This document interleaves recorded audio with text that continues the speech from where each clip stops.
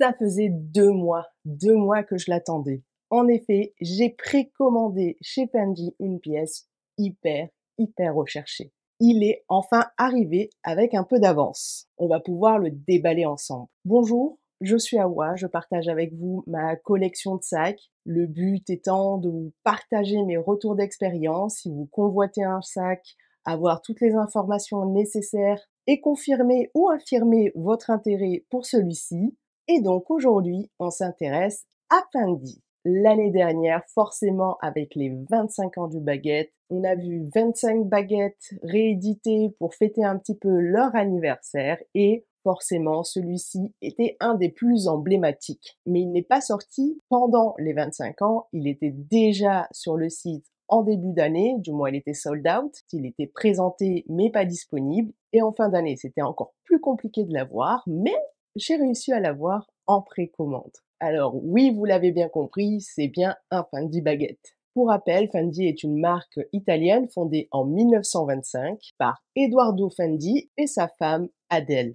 Le couple a tout simplement ouvert une petite boutique à Rome. Petit rappel, hein, le savoir-faire de Fendi initial et la fourrure, puisque c'était une petite boutique de manteaux à fourrure, mais aussi de cuir, principalement en peau de mouton, mais de cuir aussi, leur réputation sur l'acharnement du détail ont fait connaître cette petite boutique pour devenir une marque assez célèbre au fil du temps. À la base, c'est une histoire familiale puisque les filles du couple ont rejoint l'aventure en ajoutant à leur arc, à leurs articles, des sacs à main, des accessoires. Elles ont introduit d'ailleurs dans le savoir-faire des techniques innovantes pour l'époque, et notamment les tapes de la teinture de la fourrure, ont permis à Fendi de créer des pièces assez innovantes et se distinguer de la concurrence. Au fil des années, Fendi s'est diversifié, s'est ouvert au monde et aujourd'hui, la petite boutique romaine se trouve dans les plus grandes capitales de ce monde.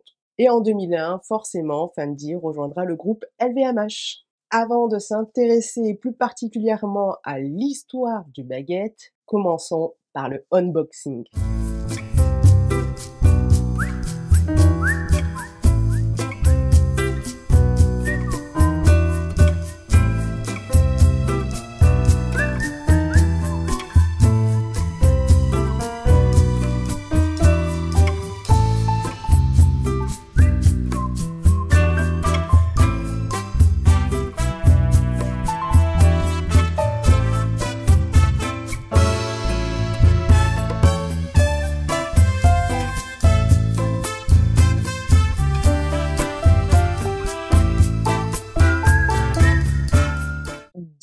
Voilà, mon collector Fendi baguette. Alors là, j'ai vraiment de la chance d'avoir le collector, l'emblématique sac baguette à paillettes violet. Sincèrement, je ne suis vraiment pas déçue. Je le trouve sublissime. Et comment j'ai réussi à l'avoir? Tout simplement, vous savez, lors de l'anniversaire du baguette, on a vu pas mal de unboxing de ce sac. Alors moi, je le convoitais depuis un petit moment, donc j'avais vu pas mal de revues de ce modèle-là, mais plus aux États-Unis. L'année dernière, il y a eu pas mal d'unboxing euh, fin novembre, début, début décembre, et notamment celui de Jessie qui a ce modèle en lilas. Et en regardant sa vidéo, je me dis, ah, il est pas mal en lilas quand même, il est vraiment sympathique. J'arrive pas à voir celui-là, bah, le lilas peut être une option hein, à défaut. Ils ont sorti vraiment pas mal de couleurs. Actuellement, j'ai vu au moment où je tourne la vidéo que le rouge était à nouveau disponible. Mais euh, voilà, c'est des modèles qui partent hyper vite et celui-là, c'est une mission impossible. Et donc je regarde la vidéo de Jessie, je me dis ah il est pas mal, je vais sur le site et en fait, sur le site, quand vous défilez les articles, il n'y avait pas ce modèle-là. Il n'était pas présenté. Par contre, quand je suis allée sur le lilas, sur Fendi, vous avez des, des petites présentations des couleurs et je vois que le violet est positionné. Donc je clique dessus et ça me redirige vers la page et je vois qu'il est disponible en précommande pour le 28 février. J'ai pas réfléchi, j'ai dégainé ma carte, tout simplement, c'est mon cadeau d'anniversaire que je me suis j'ai bien travaillé l'année dernière, j'ai bien économisé, donc j'ai cramé mon argent et avec un collecteur, donc ça va. Et pour revenir sur l'histoire du Fendi Baguette, vous le savez, il a fêté ses 25 ans. Donc, il a été créé en 1997 par Silvia Venturini Fendi, qui est la petite fille d'Adèle et Eduardo Fendi. D'ailleurs, c'est aussi elle qui a créé le sac Picaboo. Donc, elle a vraiment un impact décisif sur les iconiques de la maison Fendi. Et d'ailleurs, le Fendi Baguette est le premier sac qu'on appelle Hit Bag. C'est la première fois qu'on utilise ce terme pour un sac. Et on dira même que c'est le sac de mode qui lança la mode des sacs. C'est pas moi qui le dis, c'est Wikipédia. Ce sac a été encore plus popularisé par la série Sex and the City. On voit donc dans cette série le sac Fendi à plusieurs reprises. Celui-ci est assez emblématique, mais il y en a eu d'autres. Hein notamment un doré de mémoire. Mais l'épisode qu'on aime se rappeler, c'est tout simplement le moment où Carrie, dans une rue new-yorkaise, me semble que c'est New York, se fait braquer son sac. Le braqueur lui demande gentiment son sac à main et elle lui répond It's not a bag, it's a baguette. D'ailleurs, ils ont repris le slogan pour une pub de ce sac pour la réédition. Tout simplement, c'est quatre jeunes filles qui cherchent absolument ce modèle. Ce modèle est sold out, elles n'arrivent pas à le trouver. Et euh, elles rentrent dans une boutique Sandy, elles ressortent euh, parce que une personne vient d'acheter le dernier modèle. Elle court après elle et en fait euh, c'est Carrie Bradshaw qui a ce sac. Et les filles parlent d'un sac et elle, elle se retourne et elle dit It's not a bag, it's a, it's. Et il faut savoir que depuis sa création, c'est plus de 1000 versions qui ont été éditées du Fendi. C'est un truc de dingue. Donc vous en avez vraiment pour tous les goûts, mais je suis ravie d'avoir ce collector. Qu'est-ce que vous en dites? Je vais le poser, on va pouvoir commencer à l'analyser. Pour rappel, moi, je l'ai commandé en ligne, donc je l'ai reçu par la poste. Il devait arriver le 28 février du moins à partir du 28 février, il est arrivé bien plus tôt. Donc il est arrivé deux semaines avant et il est arrivé par DHL. Alors il est arrivé après la notification, trois jours après, bémol pour DHL, vraiment shame. Normalement, ce colis doit être remis avec signature et carte d'identité. Mais ça doit être au destinataire ça doit être moi qui dois signer, c'est moi qui dois recevoir le colis, pas un voisin. Donc effectivement, sur le bordereau, il y avait effectivement le prénom de cette personne qui avait récupéré mon sac et je ne sais pas qui c'était parce que je ne connaissais pas cette personne. Je connais un petit peu mes voisins, hein, on, fait, on fait des repas, euh, on se voit assez régulièrement, on se dit bonjour, il y a la fête des voisins, mais je ne connaissais pas ce prénom-là. Je me dis mince, c'est qui? Et je vois qu'il y a le nom de la personne et au 23. Donc je vais sonner au 23 et effectivement, ils avaient bien mon colis. Mais sauf qu'au début, j'étais au bureau. J'ai commencé à paniquer, je suis chiante comme ça. Et surtout qu'il y a le nom Fundy sur le bordereau d'envoi. Donc effectivement, elle a remis sa carte d'identité. c'était la petite fille, c'était la fille d'un de mes, voisins que je ne connais pas, qui n'habite pas ici, qui a récupéré mon colis. Donc ça pouvait être n'importe qui dans la rue. Donc moyen, hein, sincèrement, quand c'est remis avec signature, même avec carte d'identité, même si le voisin, même si une personne dans la rue vous donne sa carte d'identité, normalement, ça doit être le signataire ou un membre dans la maison, pas un voisin. Je trouve ça aberrant de la part de DHL. Mais bref, le colis est arrivé dans une boîte, il y avait le nom Fendi sur le bordereau, et ça c'est pas top. Mais boîte, quand on ouvre, il y a écrit Fendi aussi, marron, rien de transcendant. Et cette petite boîte jaune, alors je pensais avec tous les unboxings que j'ai fait qu'elle était vraiment jeune, toute toute jeune, puisque c'est mon premier article Fendi. Et en fait non, il y a des reflets, des jeux de couleurs. Je ne sais pas si vous allez le voir, mais c'est pas jaune jaune, c'est comme des traits en fait de couleurs un peu plus foncées, un jaune un peu plus foncé, et donc le logo Fendi. Vous avez aussi un système à aimant. Donc la boîte peut se plier un petit peu pour faciliter le rangement. Elle est plutôt solide. Ouais, elle est solide. Non, franchement, elle est, elle est sympathique, elle est nickel.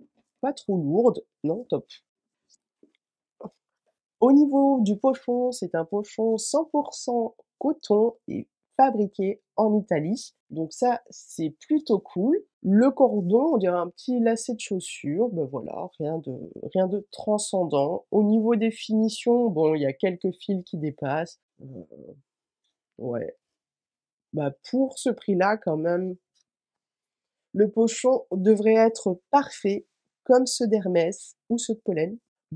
Moi le luxe, j'ai envie d'avoir des beaux pochons, d'avoir des belles matières, d'avoir quelque chose de différent. Céline le fait, heu, Hermès le fait, heu, pourquoi Fendi ne le ferait pas? Donc le sac est arrivé à l'intérieur avec du papier de soie. Il était vraiment bien rembourré de partout. Là, le papier de soie est un petit peu abîmé. Il y avait une étiquette du coup avec, le Fendi Roma. Voilà. Le papier de soie est assez classique, hein, il est blanc, il y a pas de décoration, il y a rien du tout. J'ai donc vu des papiers de soie plus jolis. Ce n'est pas pour être chiante, mais c'est pour comparer un petit peu les finitions. On est sur du domaine du luxe, on veut un peu de magie quand même. Il est arrivé avec 2 cartes, une carte où je retrouve dedans, en fait, tout simplement le bordereau pour le renvoi et une petite carte et sur la petite carte, bah, la petite carte, heu, elle a bavé quoi. Donc cette petite carte est une carte de remerciement Fendi, sauf que, beh, la moitié est effacée. L'encre a bavé, donc heu, c'était pour me souhaiter d'avoir, heu, beaucoup de bonheur avec, heu, ce sac pendant plusieurs années. Mais voilà, les finitions ne sont pas excellentes. Ça arrive, hein, mais on est sur une pièce chère. Et dans l'autre enveloppe, j'ai juste un petit carton, j'ai pas un livret en fait d'entretien, c'est vraiment juste un petit carton avec quelques quelques mentions, notamment le fait que le satin à l'intérieur est délicat et doit être traité d'une façon spécifique.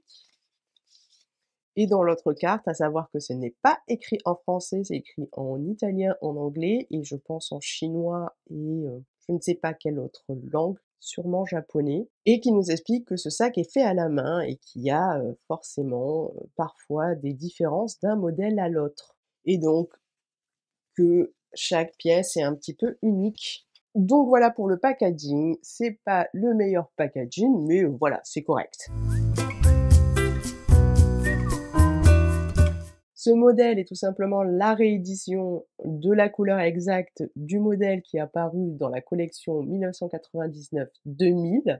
Il est fabriqué en Italie. C'est pas exactement le même modèle que 1997, je vous expliquerai ça un petit peu après, quand on parlera de la versatilité pour marquer un petit peu le détail changeant par rapport à cette version et la version de 1997. Donc vous aurez pu le voir, hein, il est complètement brodé de paillettes, mais aussi de quelques perles. Vous avez en fait des perles violettes qui viennent entourer l'ensemble du sac, hein, qui font un petit peu les bordures, hein, c'est un petit détail qui est vraiment magnifique. Vous avez différents styles de paillettes, vous avez vraiment des paillettes unies à ce niveau-là, et puis vous en avez quelques-unes qui sont en forme ronde et certaines un petit peu allongées, qui ressortent et qui donnent un petit côté folie au sac. Donc voilà, c'est vraiment, un très, très beau sac qui est pas du tout lisse comme certains sacs à paillettes où vous avez vraiment toutes les paillettes identiques et donc ça assagit un petit peu le sac. Ici, là, c'est un peu plus disco, un peu plus funky et j'adore ça. Et quand on regarde sur les côtés, on voit qu'en fait, il y a une partie de tissu, donc ça doit être ça qui est le polyester, hein, et par-dessus est brodé en fait les paillettes, et mais aussi les perles sur le côté. Hein. Ce tissu est d'ailleurs rattaché au cuir, donc voilà, hein, une grosse partie du sac est en polyester, du moins l'extérieur, 82% exactement. Oui, ça fait cher pour du polyester, hein, mais c'est cousu à la main. Il y a 18% de résine et je pense que la résine vient sur la boucle FF Vertigo et donc la résine est pleine de paillettes, hein, c'est vraiment un violet aussi avec des petites paillettes et le tout d'une boucle dorée sur une petite bande de cuir qui va tout simplement vous permettre d'ouvrir et fermer le rabat. Donc le fermoir est un fermoir aimant. Ici, vous avez donc le petit fermoir à aimant où il y a indiqué Fendi dessus en petit et à l'intérieur, vous avez donc du cuir. Et donc le dessous du rabat est en cuir d'agneau, qui reprend un petit peu tout le contour de l'intérieur du sac et qui fait quelques finitions. Hein. Vous avez la même partie au niveau de la poignée et sur le devant, donc c'est ton sur ton.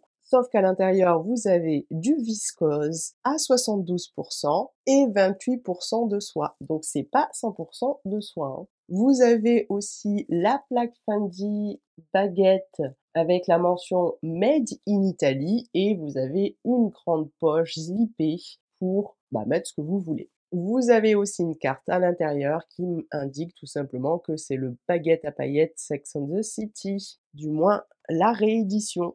Donc c'est plutôt un sac mou. Moi je suis pas très fan habituellement des sacs mous, mais sur celui-ci ça passe. Et en termes de dimension, vous avez 27 cm de long, 15 cm de hauteur et 6 cm de profondeur. Donc il a vraiment une très grande contenance. Du moins c'est un de mes plus grands sacs. Donc voilà, la réédition parfaite de l'original qui est apparu dans la collection 1999 2000. Alors les matériaux pourraient être beaucoup plus nobles, je vous l'accorde, surtout pour ce prix, mais on va dire que, ben voilà, je pense que c'est beaucoup de temps pour mettre toutes ces paillettes et effectivement, si c'est pour mettre, je sais pas, sur, sur une matière hyper noble, remettre des paillettes dessus, je vois pas l'intérêt.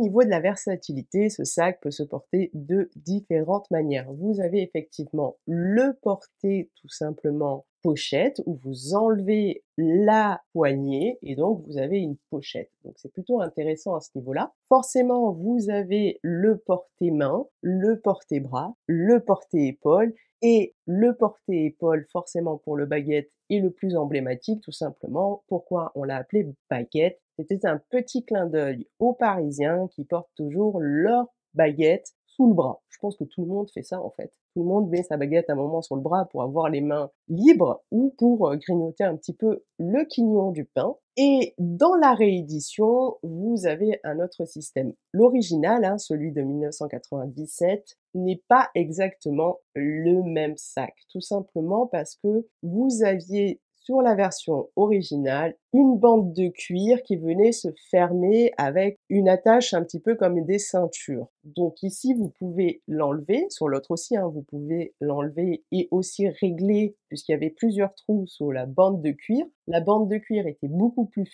fine que celle-ci, que celle de 1997 tout simplement parce que j'aurais peur que le cuir s'abîme, mais quand je regarde les annonces des anciens modèles, bah écoutez, ils sont toujours en bon état, donc peut-être que je me trompe, mais voilà, j'aime bien, j'aime bien cette version. Et donc vous avez aussi une bandoulière de la même couleur qui vient et qui peut s'accrocher tout simplement juste ici pour le pouvoir le porter crossbody et je trouve que c'est hyper élégant quand il est accroché dessus. Ça fait un côté un peu plus décontracté, je vais vous montrer. Donc voilà, hein, ça fait un petit côté beaucoup plus décontracté, je le trouve magnifique ainsi, c'est impressionnant.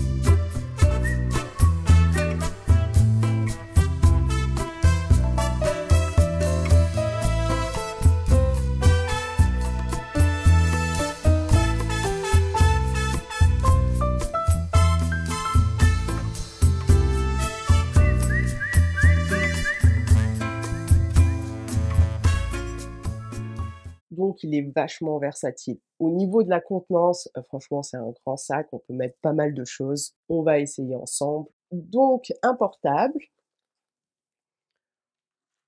un porte-monnaie, un paquet de mouchoirs, une brosse à cheveux de la même couleur, Et vous avez encore de la place, hein, vous avez encore de la contenance disponible. Non, je vais enlever ça quand même. Comme il est mou, c'est pas pratique de vous montrer, mais voilà, il y a de quoi faire, hein, il, y a, il y a encore euh, de la place, vous pouvez y rajouter euh, un parfum et il y a encore de la place pour d'autres objets. Mais je pense que c'est déjà l'essentiel. Je pourrais rajouter mes clés. J'ai pas mes clés juste ici, mais voilà, il y a de la contenance. Il n'y a pas de souci à ce niveau-là. Je trouve que ce sac va très bien sur les tenues hyper décontractées, avec des chemises hyper oversize, un look vraiment détente et vient se rajouter bah, cette petite pièce pour apporter un peu de fantaisie euh, au côté euh, loose, au côté décontracté qu'on peut avoir. Le prix des baguettes varie en fonction de la taille, de la finition, des matériaux utilisés. Vous aurez vraiment différents prix. Et si on se consacre à ce modèle à paillettes, on avait la version bijoux dans la catégorie accessoires. C'est vraiment un petit truc mini que vous pouvez accrocher à une ceinture. C'est super élégant, super mignon. Voilà, c'est une miniature, hein. ça, fait, euh, ça fait à peine 11 cm de long et 6 euh, de hauteur. Donc 6 de hauteur, c'est ça à peu près. voilà, c'est un mini truc où vous pouvez peut-être glisser vos cartes ou vos clés. D'ailleurs, on voit souvent des petits accessoires accrochés aux plus grands baguettes, mais au prix de 890 euros, j'ai envie de dire, je trouve ça mignon, mais personnellement, je l'achèterai pas. Vous avez une version mini de ce sac qui est un peu différent parce que la bandoulière est en chaîne. Il est au prix de 2500 euros. Et cette version, qui est le baguette moyen, est à 3500 euros. La version en cuir, pour comparaison, pour le même modèle, est à 2800 euros. Donc vous avez 700 euros de plus pour la version baguette. D'ailleurs, j'aime beaucoup aussi la version cuir. Il y a de superbes couleurs chez Fendi. Vraiment, c'est difficile de choisir une couleur. Actuellement, vous retrouverez ce sac plus cher qu'en magasin.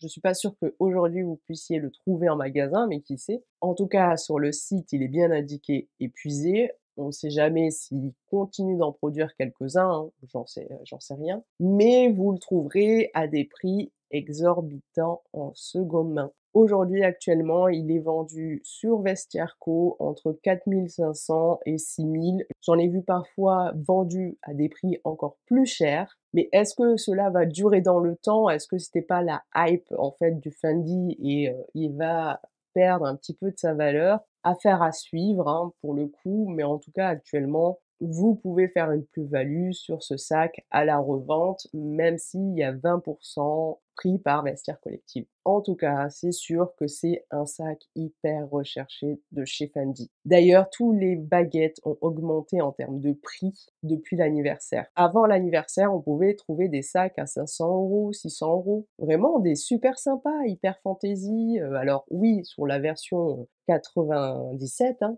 euh, pas avec ce système-là, mais euh, c'était vraiment sympa, ils étaient vraiment originaux et aujourd'hui sont plutôt à minima vers les 1000 euros. Peut-être qu'on peut encore en trouver, c'est vrai que j'ai pas vraiment cherché, mais j'ai vu pas mal de personnes en profiter pour mettre en vente leur vieux sac Fendi qui traînait un petit peu dans le placard. Donc voilà, mon Fendi baguette, je suis très contente d'avoir cette pièce collector dans ma petite collection. J'espère sincèrement qu'il sera pas trop fragile. Hein. C'est toujours inquiétant, mais je sais qu'on peut le renvoyer en réparation, hein. pas le but non plus, donc j'espère qu'il est bien solide. Je ferai un peu plus attention à ce sac. Hein. Au niveau de ma collection, voilà, ça ramène une pièce un petit peu fantaisie. La couleur est parfaite et complète bien les couleurs que j'ai dans ma collection. Donc je suis plutôt ravie à ce niveau-là. Qu'est-ce que vous en dites? C'est soit on aime, soit on déteste.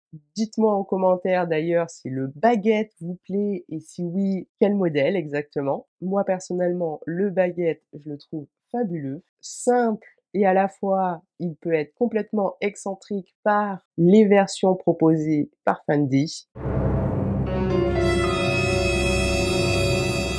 Je tourne cette vidéo le lendemain en fait de la présentation du Fendi Baguette que je vous ai tourné.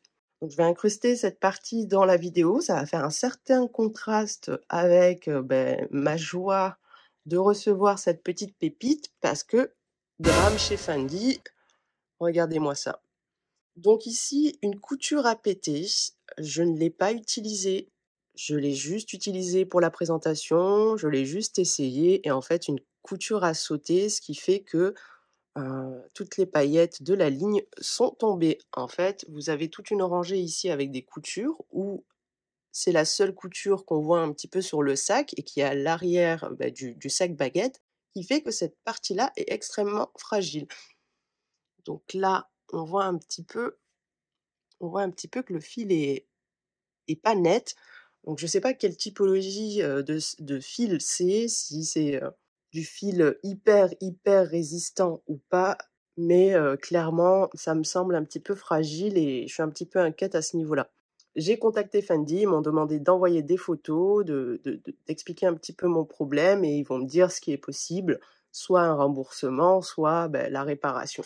Je vous avoue que je suis vachement en hésitation, j'adore ce sac, je le trouve magnifique, je l'adore. Je serais vraiment dépitée de devoir le renvoyer et de me faire rembourser parce que, beh, vraiment c'est une pièce que je souhaitais et que je trouve magnifique.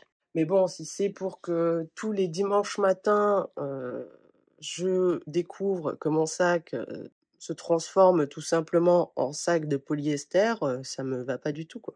Je suis vraiment dépitée, donc il y aura un contraste entre cette partie, heu, que je rajouterai au montage et la présentation, de cette petite pépite.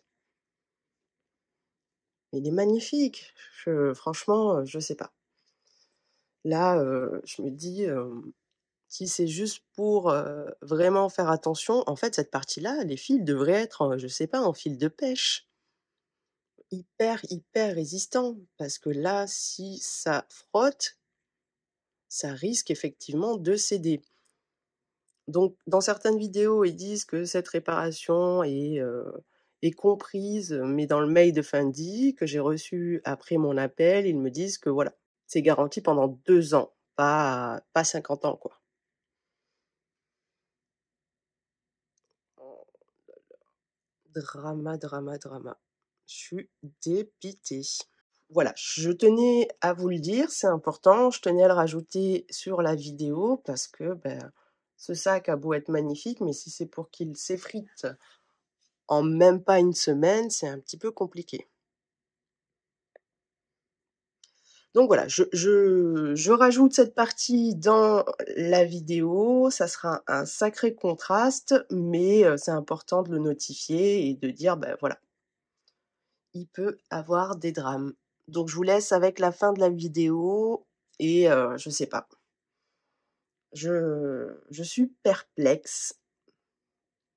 Je sais pas quoi dire en fait, c'est la 1re fois que ça m'arrive, donc ça me permettra aussi de vous parler du service client Fendi après coup. Il y aura sûrement un 2e épisode, hein, heu, qui est devenu le sac. Voilà, dites-moi en commentaire, bah, qu'est-ce que qu'est-ce que vous, vous auriez fait? Franchement, je suis indécise entre, bah, si j'arrive à le faire réparer, je le garde, j'adore ce sac, j'ai un vrai coup de cœur ou heu, prends pas de risque, heu, s'il y a possibilité de te faire rembourser, fais-toi rembourser et renvoie-le, tant pis pour le collector. C'est bien trop fragile. Je sais pas, franchement, je il y aura un 2e épisode en tout cas pour, heu, savoir, heu, comment Fendi a traité, bah, ce ce cas. Je suis partagée entre, heu, je l'aime et c'est plus possible. C'est pas possible, ça marche pas. Non, sincèrement, j'ai peur. Oh là là, galère, galère, galère. Donc les sacs à paillettes aïe, aïe, aïe. C'est peut-être que mon cas, hein, c'est exceptionnel parce que j'en ai vu des tonnes et des tonnes de revues sur ce sac et il y a aucun problème de ce type. Du moins, je vais faire mes recherches sur YouTube et voir si quelqu'un, avec le temps, a eu des problèmes, mais tout le monde en était ravi. Donc je soit j'ai pas de chance, hein, je ne sais pas. Si vous avez vu des vidéos similaires, n'hésitez pas à me le dire et me donner, le nom, en commentaire. J'aimerais bien aller voir ça. Voilà, j'étais obligée de vous le dire, que pour être, transparente, hein, c'est important d'avoir un retour concret et même si, bah, c'est quelques jours après le tournage ou du moins le lendemain, beh, c'était important de le rajouter et de vous faire une vidéo assez, heu, assez paradoxale. Allez, je vous laisse, heu, avec la suite.